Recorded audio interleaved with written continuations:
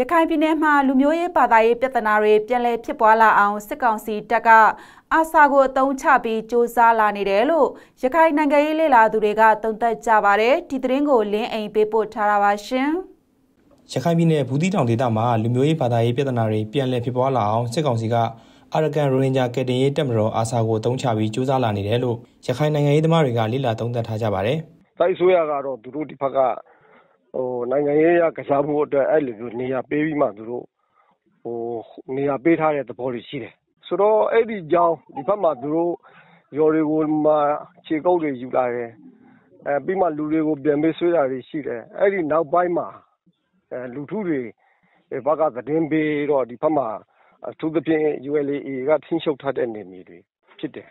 ဆိုတော့ အဲ့နေရာတွေမှာလည်း အဲ့လိုမျိုးတွေလောက်လာတော့ ဒီဘက်ကဟို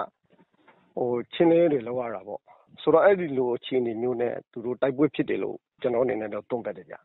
ဘင်္ဂလားဒေ့ရှ်နိုင်ငံ ဒုက္ခသည်စခန်းတွေမှာ နေထိုင်နေကြတဲ့အာဆာတပ်ဖွဲ့ဝင်တွေဟာ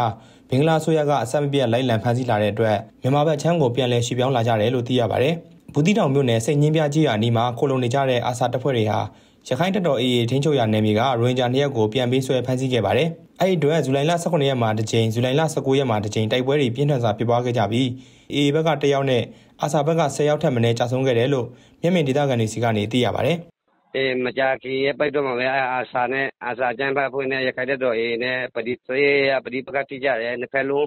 အဲထိခိုက်ကြဆုံးမှုကြားဆုံးမှုတွေရှိတယ်ဆိုပြီးသတင်းမီဒီယာချုပ်မှကျွန်တော်တွေ့ရတယ်။အဲဒီလိုဖြစ်လာတဲ့အပေါ်မှာလက်ရှိ မှာစီးရအာဆာကို အသုံးပြုလာတယ်။နောက်တစ်ချက်က2012ခုနှစ်မှာ ဖြစ်တော့ခဲ့တဲ့ လူမျိုးရေးအနေအထားမျိုးကို နိုင်ငံရေးအရ စကစက အသုံးပြုလာနေတယ်။ဒါတွေကို ရခိုင့်တပ်တော်ကအဓိကတော့ ရခိုင့်တပ်တော်က တာဝန်ရှိတဲ့ ပုဂ္ဂိုလ်တွေနဲ့ သတိကြီးကြီးထားပြီးမှ ကိုင်တွယ်ဖြေရှင်းဖို့ လိုတယ်။လိုမယ်လို့ ကျနော်ကတော့ အကြံပြုရင်းနဲ့ အဲ့လိုပဲနှစ်ချက်ပြုချင်တယ်ခင်ဗျ အာရကန်ရိုဟင်ဂျာကယ်တင်ရေးတပ်မတော်အာဆာတပ်ဖွဲ့တွေဟာမောင်နှောမြို့အမှတ်၁နယ်ကြားဆောင်တပ်ဖွဲ့ဌာနချုပ်အပါအဝင်ငခုရနယ်မြေစကန်နဲ့ကိုရန်ကောက်စကန်တွေကို2016ခုနှစ်အောက်တိုဘာလ19ရက်တနင်္ဂနွေမနက်စောပိုင်းမှာဝင်ရောက်တိုက်ခိုက်ခဲ့ကြတဲ့အတွက်နယ်ကြားဆောင်တပ်ဖွဲ့ဝင်19ယောက်ထိကြာဆုံးခဲ့ပါတယ်။အာဆာတပ်ဖွဲ့ဝင်တွေရခိုင်ပြည်နယ်အတွင်းကိုပြန်လည်ဝင်ရောက်လာတဲ့အခြေအနေနဲ့ပတ်သက်ပြီးမေးမြန်းမှုအတွက်ရခိုင်တပ်တော် AA ထံကို DVB ကဖုန်းခေါ်ဆိုဖို့ဆက်သွယ်ခဲ့ပေမဲ့ဆက်သွယ်လို့မရသေးပါဘူး။ပြီးခဲ့တဲ့ဇန်နဝါရီလ18ရက်နေ့ကလည်းမြန်မာဘင်္ဂလားဒေ့ရှ်နယ်စပ်မှာရှိတဲ့